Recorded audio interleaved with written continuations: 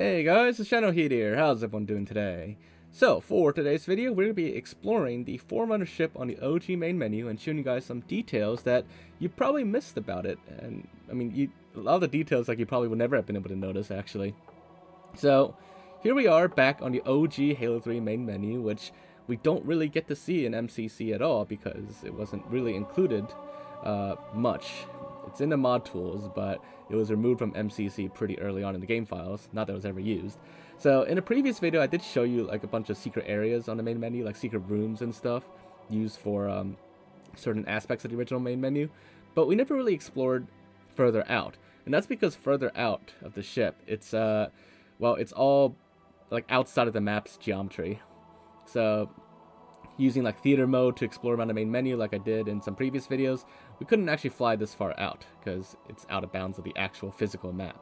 But now, you can actually take a look around here and get a much closer look at the Forerunner ship for the first time. And you you know, you may think, you know, it's probably the same as the Forerunner ship used in game and on actual missions, but something about it already doesn't look quite right to me. So, Obviously, with this blue filter in the main menu, it's hard to see the details, so let's turn off the filter and switch it to full color. So, in the full color version, we can actually see the details much clearly, and here, we can see that this Forerunner ship is actually untextured.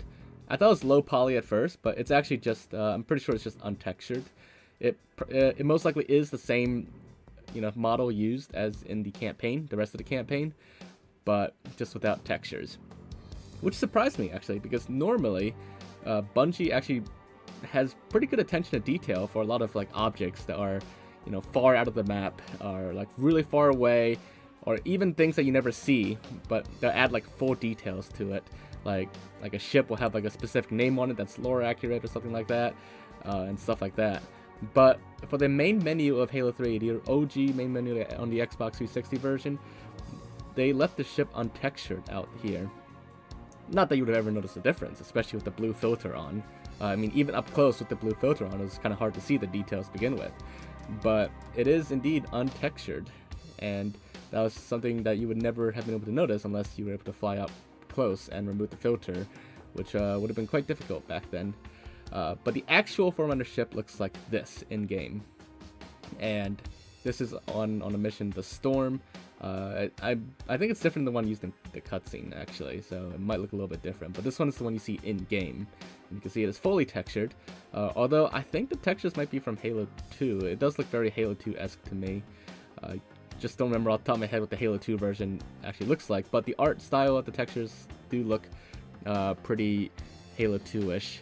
So that's uh, that's what the Forerunner ship looks like in-game compared to on the main menu. The one on the main menu is its own special version, as you can see, and it is pretty far out of the bounds of the actual main menu map that's used. Uh, so there you guys have it. Uh, hopefully you guys found this video to be interesting. It was uh, a little bit shorter, but uh, hopefully it's uh, interesting nonetheless. If you did enjoy it, make sure to leave a like, uh, leave a thousand comments. If there's anything else you check out, look into, or explore, just let me know in the comments down below. But aside from that, make sure to subscribe, and I will see you all in the next video. Bye, guys.